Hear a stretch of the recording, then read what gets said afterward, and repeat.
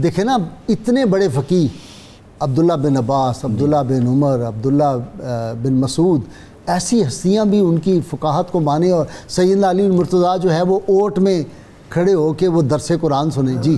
बिसमीम किबला डॉक्टर साहब जो बयान फरमा रहे थे ख़ुतबा के हवाले से मैं वही बात जारी रखना चाहूँगा कि चंद इकतबासात उस खुतबे से मैं आपकी खिदमत में पेश करूँगा कि हज़रत सईदा ज़ैनब और जब आप वो ख़ुतबा इरशाद फरमा रही थी तो उस वक़्त कैफियत दरबार यजीद में क्या बन चुकी थी?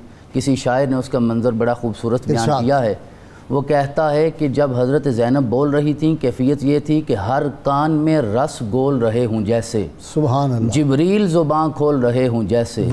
दरबार दिमश्क में वो जैनब का खिताब मिंबर पे अली बोल रहे हूँ जैसे। सुबहान अल्लाह तो ये कैफियत हो चुकी थी हज़रत जैनब सलामुल्लाह की। और आपने आगाज़ या आयत करीमा पढ़ने के बाद जो इरशाद फरमाया और झंझोड़ा जिस तरह आपने भी अपने इंट्रोडक्शन में वो दो जुमले इरशाद फरमाए आपने फरमाया अजनंत या यजीद हीना खस्त अलैना अकतार अलर्द व दयक्त अलैना फ़ाक समा ए नादान तू क्या समझता है कि तूने इस ज़मीन को हमारे ऊपर तंग कर दिया है? या आसमान की वसतों को हमारे ऊपर तंग कर दिया है? आपने उसके ज़मीर को झंझोड़ा और दरबार में जितने लोग बैठे थे आपने इशाद फरमाया फास बह ना लाकाफ़ी इसारिन। और सारे ज़माने की बलागतें और फसाहतें हज़रत सईदा जैनब के खुतबे पे कुर्बान हो जाएँ कि गमो अंदोह की उस कैफियत में भी आपने इशाद फरमाया फास बह ना लाकाफ़ी इसारिन। नुसा को इलई का सौ कनफी कितारिन इकतदारिन। तू अगर इस वक्त साहिब इकतदार है तो तू क्या समझता है?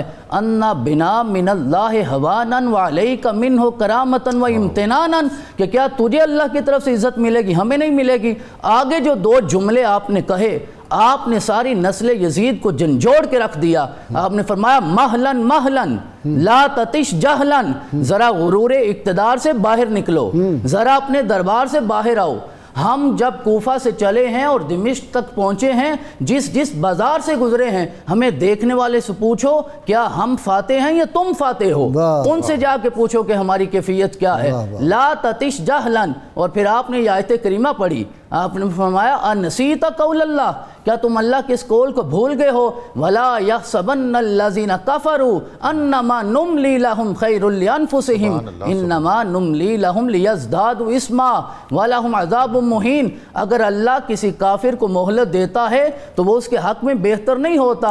वो अल्लाह आजमाता चला जाता है ताकि उसका अजाब दर्दनाक हो जाए। फिर जनाब सईदा जैनब ने हाथ उठाए भरे दरबार में और अल्लाह की बारगाह में अर्ज़ किया कहा अल्लाह खुज बेहक के ना वन तकिम मिन जालिमेना व अहलिल गदब का बिमन सफ़ा का दिमाना व कतला हुमातना मौला हमारा हक तूने लेना है।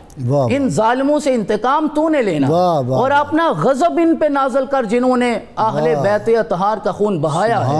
हमारे वफादारों को शहीद किया है। और फिर कहा वो वक्त दूर नहीं है। यजीद याद रखो। वह सत्तारे दो।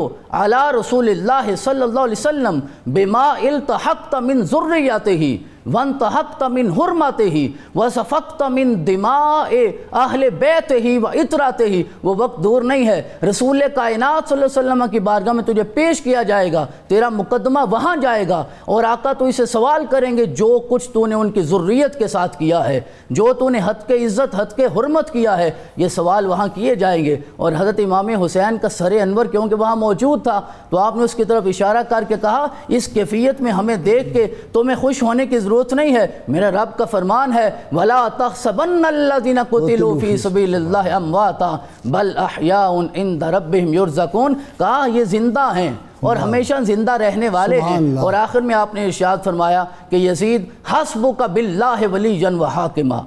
वह भी रसूल खसीमा वह भी जबरील जहीरा वक्त आएगा मैंने मुकदमा अपने नाना की बारगाह में पेश कर दिया है अब इस मुकदमे का हाकिम अल्लाह होगा हमारा वली अल्लाह होगा और फरीक मान के जनाब मोहम्मद रसूल तशरीफ़ लाएँगे और हमारे इस मुकदमे का गवाह कोई और नहीं होगा जबरील बन के आएगा।